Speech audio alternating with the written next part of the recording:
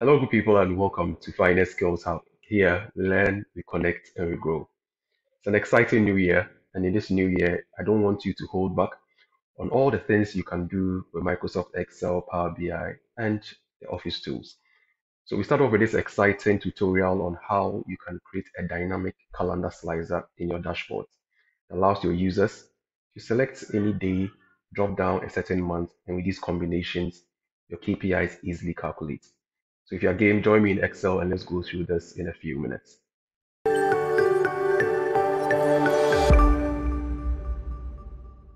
So here's a look at our dashboard. It allows me to toggle between income and expense. Okay, so I can show any of these. I can also show both in this trend. Okay, then if I want to see the income or expense for a particular period, I can use this drop down to select the month. Okay, so here I want to go down to March, okay, and this gives me the period. So if you look at June, you realize that, let's say on the first day, we didn't record any expense. Second day, there was nothing here, but I'm able to select from day one all the way to day five, and then I get this dynamic calculation and my net and my net as well. So we just want to learn how to create this dynamic calendar slicer and how you can use it in your dashboard. So let's get to it. Okay, so we are going to begin with the start version of the dashboard. I've removed all the elements we are going to use. So here, the basic idea is when the user comes here, you select the month from a drop-down list. We'll have the slicer for the days here. And then based on these combinations and the year, the income for the selected period and then the expense will show up and the net is also calculated. So we'll begin with the raw data. So I have this as a table and I'm going to name this transactions. So I'll go to the table design and name this transactions. Okay, so this makes it easy for me to reference the entire table in my calculations. Right. Now, if you look at our table, all the dates in 2020. Okay, so we can easily put in 2020 here. Okay, now let's talk about the month. So in the month, we want the user to be able to select the 12 months from here. It will best to put this in a drop down or data validation. So standing in here, I'll go to data, okay, and data validation here, change any value to a list and then point to the source. So the source is going to be the source. Control shift down and then I have selected this. Okay, so here I can now select any month. So let's put in June. So when the user selects June from here, I want to harvest that selection. So I'm going to reference the cell. Okay, so we have these two at the moment. Now the next thing is to work on the day selection we could do it from here okay from the dates in the original transactions table. I want to avoid a situation where we miss days. If you look at the original data realize that we are missing some days we didn't have transactions. And we want all the 31 days present. It is better to create something called a calendar table which has the full complement of all the days in the month. Okay so to do that we need to take this into the data model. So the data model sits in Power Pivot. So I have Power Pivot here. If you are using it for the first time, you can activate it by going to data and then you click on this go to Power Pivot window. It activates, okay. And then once the tab is here, you can come to the Power Pivot tab, stand in the table, and then add that table to the data model. Okay, so when you do that, it opens this Power Pivot environment. So our original table has been loaded here. Okay, but we need to create that calendar table. To do that, I'll come to design. Okay, so in design, I have date table. I'll drop this and then create a new calendar table using new. So when I hit new, you realize that it creates a new table. So this table has all the date attributes you can add or edit So as an example, I have my dates here expressed in date and time. I can format this to original time, to original date by coming here and then choose in the format this original date. Okay, so you realize from here that you have the full complement of all the days in the month. You can edit certain columns here. Example, in the month, I want it abbreviated to match my data validation. So when I select this column, the formula is here, I can edit it. So 4M's give me the 4M gives me the full month. Okay, so I can edit this to 3 and then I'll press enter. So this gives me the abbreviated version. Okay, now I want to edit this to day instead of day of week number. Okay, so I can double click the header. Okay, and then call this day. And then work on the formula. Instead of weekday, I want day. So I'll step in here and then call this day. And I'll press enter. So this way I have my 1 to 31 days all captured here. It is on this column that I'm going to insert my slicer. Okay, now before we proceed, we need to make sure that whatever we select controls our original transactions. So we need to connect these two tables. So to do that, I'll go to the diagram view. Okay, here I have the two tables. So my original transactions is here and my calendar is here. So to connect, I'll use the common columns. So I'll click on the date in the calendar and then drag it onto the transaction side. Okay, so this way the two tables can now talk. This is a one-to-many connection. So our job here is done and I'll close the power pivot. So when we come here, we can now easily insert a slicer. So to insert a slicer, I'll go to insert, go to slicer, and then in the data model okay I have two tables here I'll open this up and then come to my calendar table okay expand more fields and then I'll insert this from the day okay? So if I click OK you now see that I have the 1 to 31 this controls this table now. Now to format this properly I can select the slicer. The slicer tab pops up and then I can break this into seven columns okay for the visual. So I'll break this into seven columns. So this way when I expand I easily see this okay and then I can select any days that I want now we need to harvest okay see the days that we have selected basically so if I select one I should see it here okay to do that we are going to use a function from the cube functions called cube ranked member. So essentially what the cube ranked member does is that, so let's start cube ranked member. This is a function. It requires a connection. Connection is your data model. So normally you put a double quote and the data model pops up and then you close the double quote. Okay. It requires an expression. The expression here is the slicer name. So when I do SL, the slicer day pops up okay and then I'll bring a comma and then put in one for rank okay I'm going to explain why I put in one so it means the first thing I've selected in this slicer is always going to show up so when I choose two three four in that order right but the obvious challenge here is that if I haven't selected anything it reads all I can't use this if I select multiple days holding the shift key and then select say last day okay it still shows one instead of showing me all the five. Okay, so to deal with this problem, we need to create something that will hold the set of days that I have selected.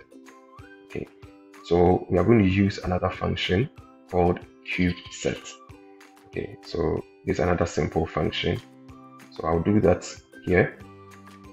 So I will use equal to cube set. Okay, the same process. So the connection, this data model, I'll bring a comma. The set expression is the slicer. Okay, and then I can bring in a caption. Okay, I'll call this days selected. And then I'll close this. So what is happening here is that for all the number of days I have selected, I have it captured here. Okay, now let's do a little test. I want to just count the number of days I have selected. So again, you can do that using cube set count. Okay, so this set will tell me that I have selected five. Okay, if I select one, it will tell me one. I select multiple, it will tell me I have 11 and so on. So at least we know that this is pregnant with a lot of days selected. We can see all the days that we have selected. Okay, let's say five.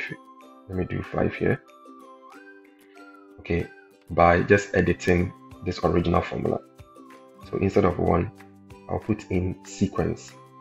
Okay, and then come and select the count.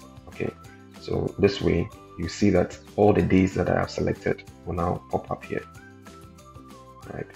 Okay, so at least we know that at this point, if I have this, I have that, and then I have my month, I can now create all my calculations. This is the most important part of the process. Okay, so now let's go and create our measures. Okay, so essentially we want to see the total amount. Okay, so we want to add up everything. And it will be good to use the data model to calculate this. So we'll go back to the data model, going to Power Pivot, measures, new measure. Okay, and then in the transactions table, I'm going to call this total amount. Okay, so here this is a basic sum. So our sum this is DAX. Okay, the transactions table. I'll close this. Okay, and then when I check the formula, everything is okay. Okay, format this using a thousand separator, and then I'll click OK. Okay, so what I've done is just a sum of everything here. Now to see that I can use another cube function. So that cube function is going to be cube value. Okay, so I will use cube value, call the data model, okay, and then bring a comma, and then I'll call my measure. So the measures is going to be measures dot and then total amount, what I just calculated. And then I'll close this. So this gives me 154741, which essentially is the sum of everything that I have here. Right, so if I hover, you see that I have this. But we don't want this. We want it split by income and expense. All this in a dynamic way. Okay. So we are now going to create the income version of this and then the expense version of this. So we already know that we can use the cube value to achieve this. All we need to do is to filter this value. Okay, so let's come to the formula. Okay, and it's going to be the same approach cube value this workbook data model okay bring a double quote we call our measures dot total amount okay and then i close this now i need to filter this okay so first i want to filter this by income so I'll bring a comma, okay, and then provide income as a criteria. Okay, to do that, we need to know where income sits. It sits in the transaction as type. So I'll bring comma, bring a double quote, call transactions, which is the table, bring a dot. It lists all the columns that I have. So I'll call type, okay, and then bring another dot. So here I'm supposed to now reference income. A dynamic way to do this is to bring a square bracket, a double quote, an ampersand to join the selection, and then I'll select this. Okay, and then close it with another ampersand, double quote, close your square bracket, close double quotes Okay, so this way I can now filter this by income.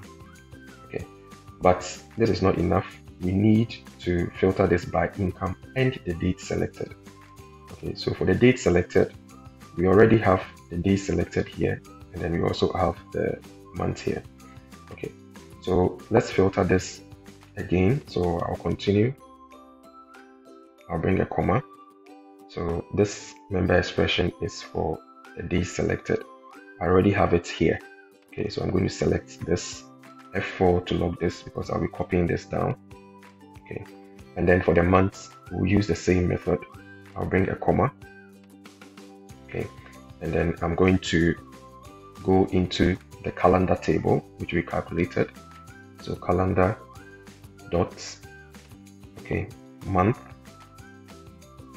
dot, and then I'll bring the square bracket, double quote, the, um, the ampersand, okay, and then I'm going to select this month, which the user is going to select, join this with a square bracket in another double quote, okay, and then I'm done.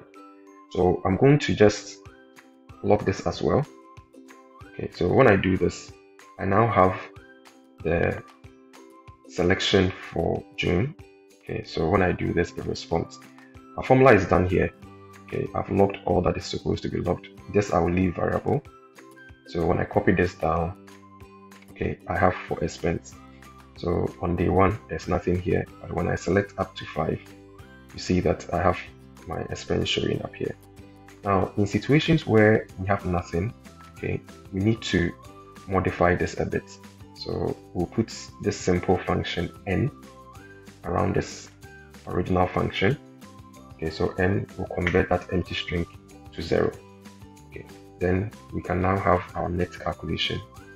So equal to this minus that. Okay, so on the first day, only income, no expense. Second day, nothing. Okay, but if I select this, hold the shift key to 5, I now have this nicely done. Now let's come to our dashboard and fix this in. So I'll come, select the shape, come to my formula bar, do an equal sign, and then I'll select my income. Okay, so here I'm going to increase this to 18. Okay, bolding this, do same for expense. Click this equal sign. Okay, increase this to 18 as well. Loading this. And then for my nets, I'll come in here. Okay, and then I'll bold in this. Increase this to 18 as well. Okay, and then I'll bold in this. Okay, I can apply my formatting once Control Shift 1, Control Shift 1, Alt H9, Alt H9. Okay, so this way it responds. So I'll bring my slicer here. I'm going to cut it. Okay, so when I cut, I have errors temporarily. And then when I paste it here, it comes back. Okay. So I have my slicer already formatted. So when I come to slicer, I will just use the format I've used here and then I get this responding. So essentially, that is how we achieve this. So if I select multiple days, okay, with this combination, it now calculates everything and switch, okay, the month as well, and then have it reading. So you can use this concept to create a dynamic calendar slicer for your user so that combining days and months, you can do any of these calculations. Please practice and add it to your list of Excel tricks. In this new year, if you want to take a deep dive into Microsoft Excel, Power BI, business presentations, and PowerPoint, please visit our website, finexskillshub.com. Apply now to join our workshop style training sessions, which begins on the 28th of January. So if you give us your details, we'll get back to you with next steps. Thanks for watching and have a good day. If this video was helpful and you would like to receive more of these videos directly on your WhatsApp, you can send ad to this WhatsApp number. We'll add you to our broadcast list so you receive our videos directly. You can also visit our YouTube channel, Finex Skills Hub. All our old videos are here. Please subscribe for notification of new videos or connect with us on any of these social media handles. Thank you so much for watching.